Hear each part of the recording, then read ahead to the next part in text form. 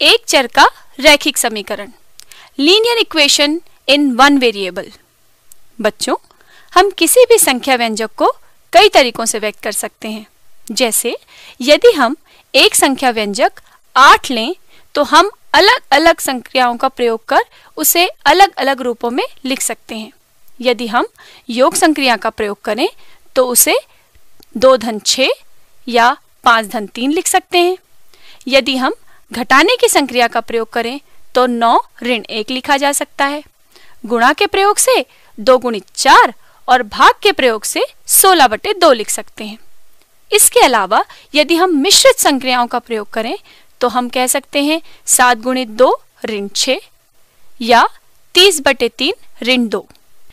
क्या इसी तरह से पाँच एक्स को भी अलग अलग ढंग से व्यक्त कर सकते हैं? आइए देखते हैं। हम पाँच एक्स को दो एक्स धन तीन एक्स लिख सकते हैं। हम इसे सात एक्स ऋण दो एक्स लिख सकते हैं। इसी प्रकार दस एक्स बटे दो भी लिख सकते हैं।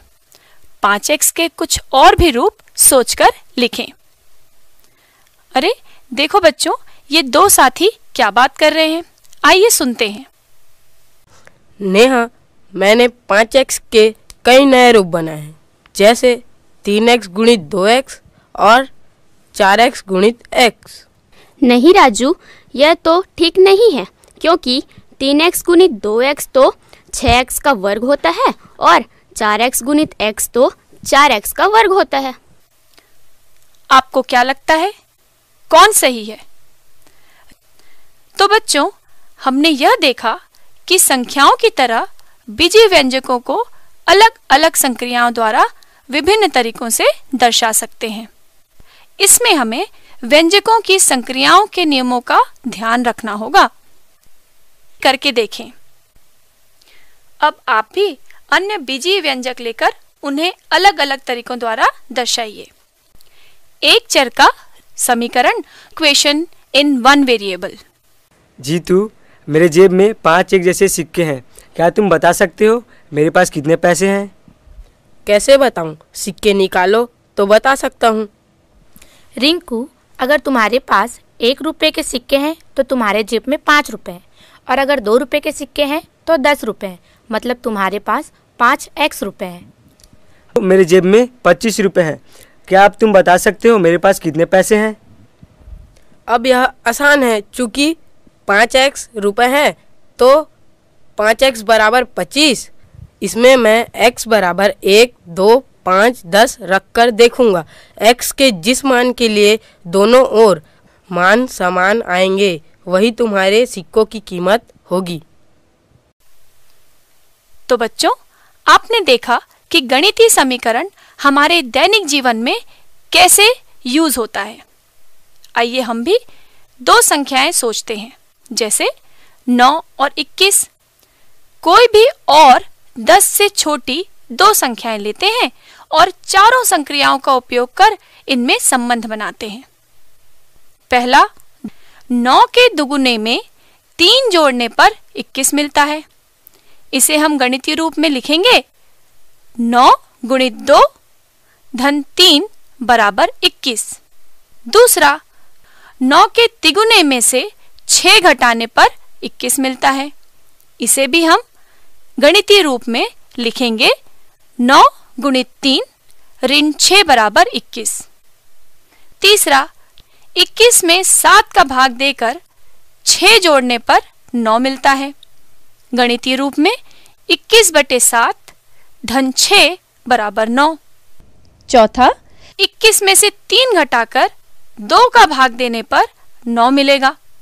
अर्थात 21 ऋण तीन, पूरे के बटे दो बराबर नौ। इस प्रकार आप भी नौ व इक्कीस के बीच में विभिन्न संक्रियाओं व संख्याओं को काम में लेकर समीकरण संबंध बनाने के लिए पाँच और कथन बनाइए। यह तो स्पष्ट है कि यह किन्हीं भी दो संख्याओं के साथ किया जा सकता है। करके देखें। इनमें से प्रत्येक के लिए तीन तीन संबंध बनाइए। पहला, दो व पाँच के लिए।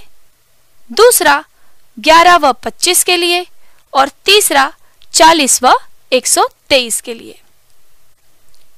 अब इन कथनों को देखें। पहला, राजू की आयु नौ वर्ष एवं उसकी माँ की आयु पैंतीस वर्ष है। दूसरा, कक्षा चार में पच्चीस बच्चे एवं कक्षा नौ में पैतालीस बच्चे हैं। तीसरा, रीमा के पास दस रुपए एवं मीरा के पास सात रुपए हैं। इनमें से प्रत्येक में हम कुछ संबंध ढूंढ सकते हैं। जैसे, राजू की माँ और उसकी आयु का योग चौवालीस वर्ष है। राजू की आयु, धन माँ की आयु बराबर चौवालीस वर्ष। कक्षा नौ में बच्चे ऋण, कक्षा चार में बच्चे बराबर बीस। ऐसी सभी परिस्थितियों के लिए कई संबंध बन सकते हैं। प्रत्येक के लिए आप भी तीन तीन ऐसे संबंध बनाएँ। चलो बच्चों अब हम एक चर के समीकरण को हल करना सीखते हैं। अरे इसके पहले जरा सुन ले रमोला और मालिनी क्या बात कर रहे हैं? मालिनी मैंने मन में एक संख्या सोची है जो 25 की दुगने से पाँच कम है। बताओ वह संख्या क्या है?